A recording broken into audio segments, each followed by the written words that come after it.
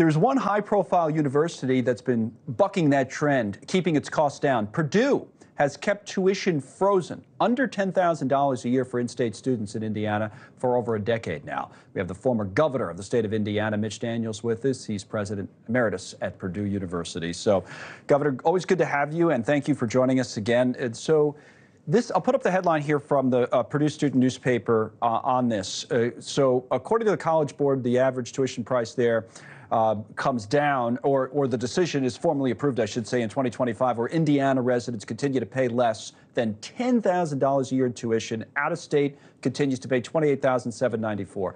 You know, when we see everything about college, 80, 90, you know, close to 100 grand in a few years, how is that possible at Purdue? I'd like to tell you something magic about it, Connell. It's really a matter of what you deem important, what you prioritize.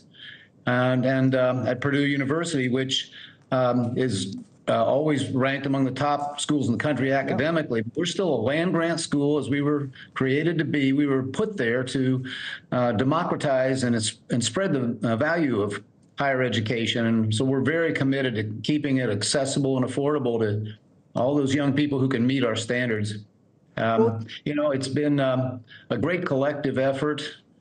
Uh, supported not just by our board and me and my successor, but uh, by our whole Purdue community. They're very proud of it. We're very surprised other schools haven't followed, that the market hasn't forced them to. I think we're starting to see that now as many schools are in distress, especially those who have jacked their prices uh, up so high.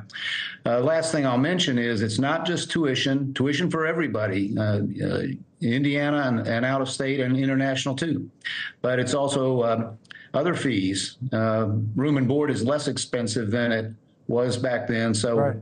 it is literally less expensive to attend Purdue now in unadjusted, that is nominal dollars, than it was in 2012. And uh, it's something that, uh, you know, we think um, we have a uh, is consistent with our mission. Well, it's remarkable in a lot of ways, but one of the things, you know, as parents, we look at these costs, and, and a lot of times there's not a lot of transparency as to where the money's going. New York Times had a headline recently about how schools are going to be soon charging 100000 a year, and we're moving in that direction, 80, 90 already in a lot of places.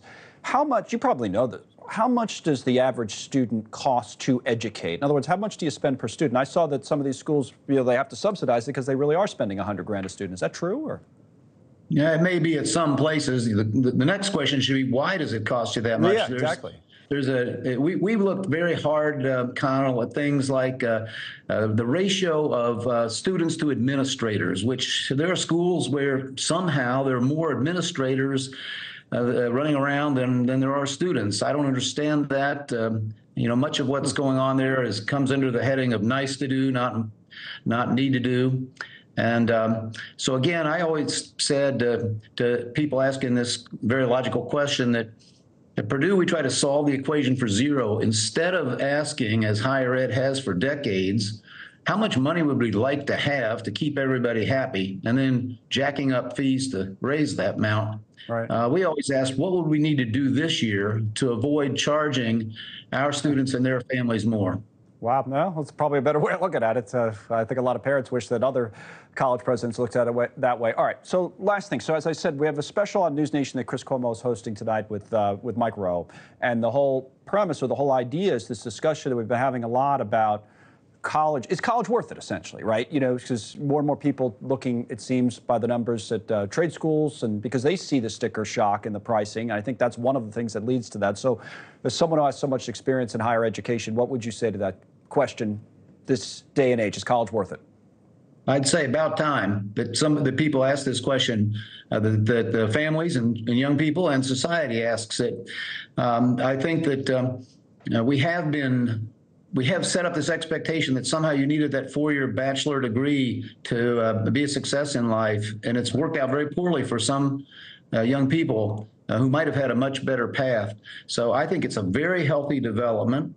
And I think it's being uh, propelled by the fact that uh, colleges are not delivering value. They're charging way too much for whatever quality is there. At Purdue, we always said our goal is higher education at the highest proven value. Um, and um, uh, for a long time, American higher ed lived in a world in which they didn't need to prove what they, that what they were doing uh, would pay off. Now people Mm-hmm. are demanding that proof, and too many, or many, many, are uh, not seeing it. Yeah, it's really it's a fascinating topic. It really is. Well, more on that tonight. And um, thanks, Governor Daniels, for coming on. Congrats to Purdue, by the way, in that great basketball run all the way to the championship game. Zach Edey and everybody else. That was fun to watch too. Thanks so much for watching. Just go to joinnn.com to find NewsNation on your television provider. And don't forget to click the red subscribe button below to get more of NewsNation's fact driven, unbiased coverage.